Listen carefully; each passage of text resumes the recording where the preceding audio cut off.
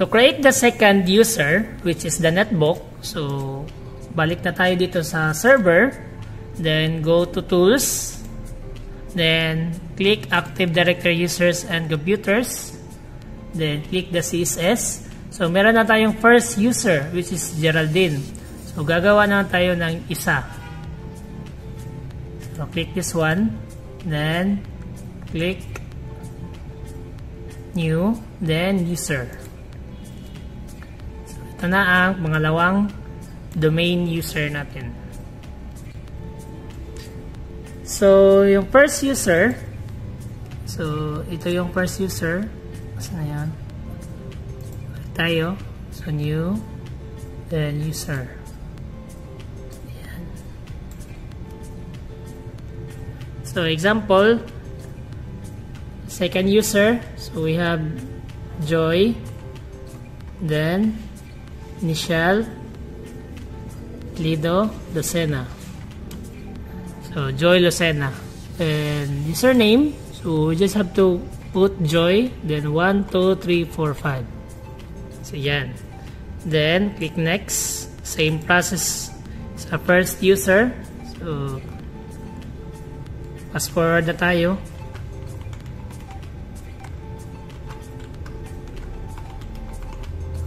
And uncheck, check, check, then next, then finish. So, dito na ang second user. So, remember the username, joy12345. Then, syempre, you have to restart.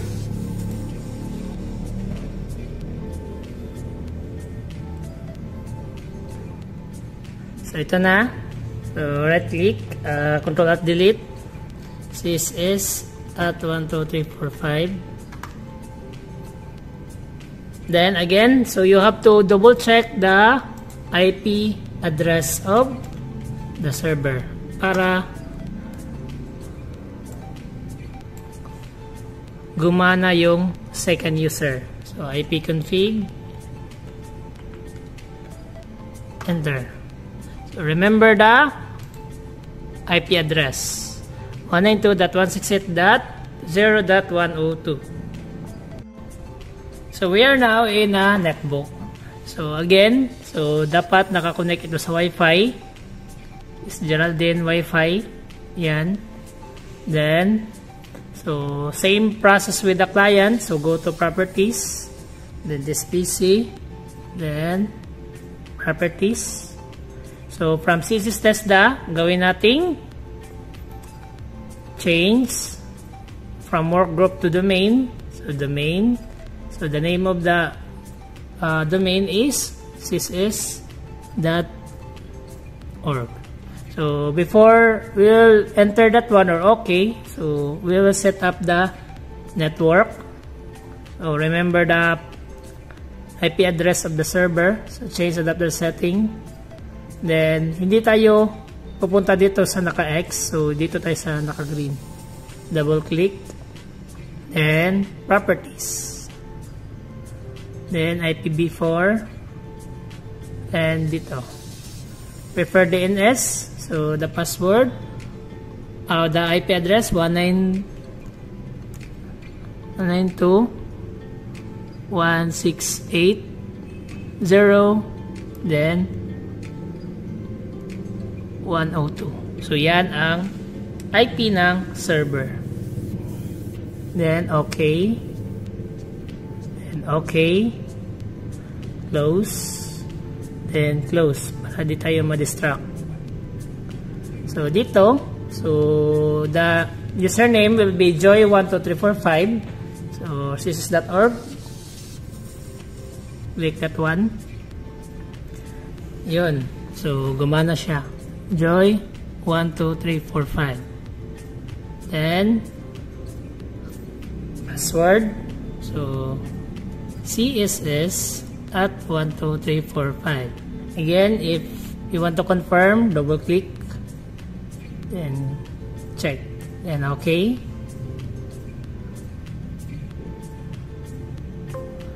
Okay. Then, okay close. Oops. Then restart now so ito na. Same with the client. So netbook. So hindi na tayo maglalagin dyan. Even though may password. Dito na tayo sa other user. So what's the name of the second user? Joy. 12345 then password. Css at 12345 then enter so Joy Lucena welcome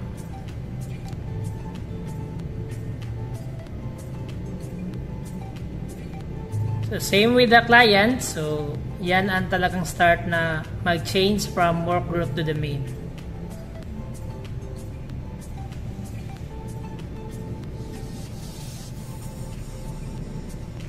This might take several minutes. Okay, let's start. So, yan.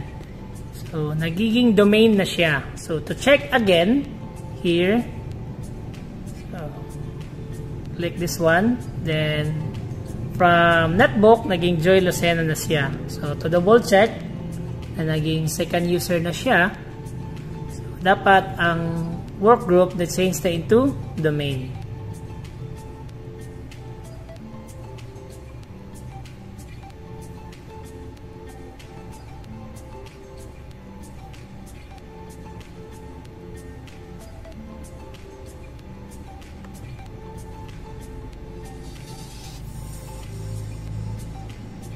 So this PC, then properties. Yan.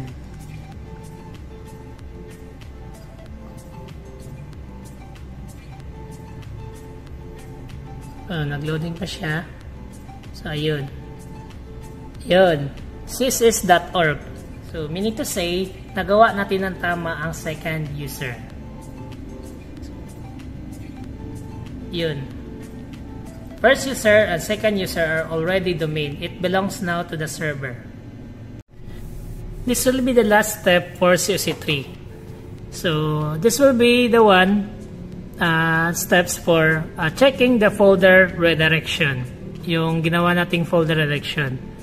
So we'll just create. So di ba sa desktop yun nalagay yung um, root path, yung folder redirect. So we'll just create new folder here. Then we just have to make it um, COC 3 client. So, folder. So, let's check if itong folder is makikita ito sa server. So, that's the time na convincing na na nagawa mo ang CC3.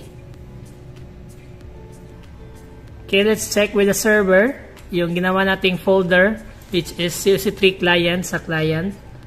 So, click. Then, so dito natin nilagay yung folder redirection. Then, ito na, folder redirection. So, let's check if nandito ba ang uh, client add netbook. So, click this one. So, ito na. Dalawang user ang nakita. So, hindi muna natin to gagalawin kasi wala pang folder. Dito muna kay Geraldine. Geraldine 12345. Ito yung first user, yung client. So let's check if nandun ang folder ng COC3 client. Click, then desktop. So nandito. So continue, follow the process, then there will be a security tab. So click that one, and go to advanced, then go to change then enter the object name to select. So you have to just um, type AU so we'll check the name check names. Yan. So meaning of AU is authenticated users.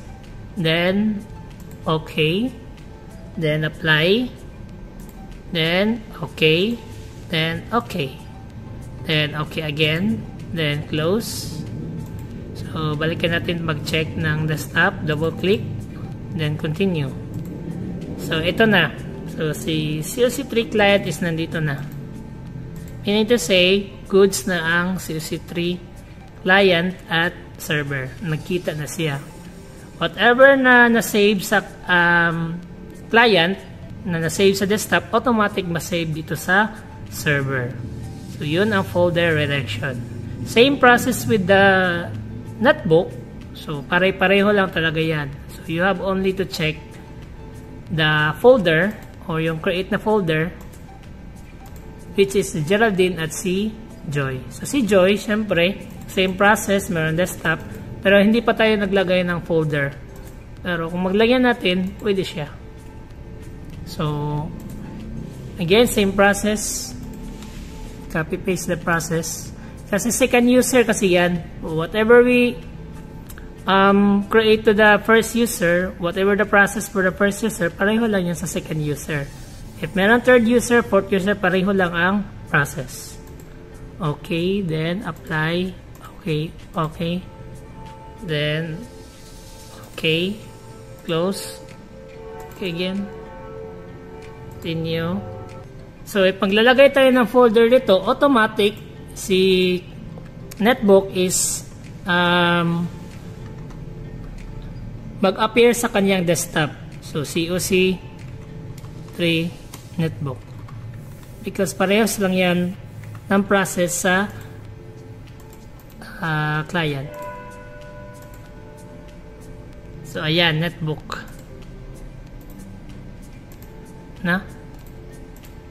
So, automatic. So, uh, the result will be in the netbook, meron na uh, ma-display na yung CC3 netbook sa desktop niya. Yung folder. Na? Ayun lang. So, that's the end of COC3 which is uh, the assessors the assessors will check your work in CC3. So, yun lang iba check nyo. Okay na yan.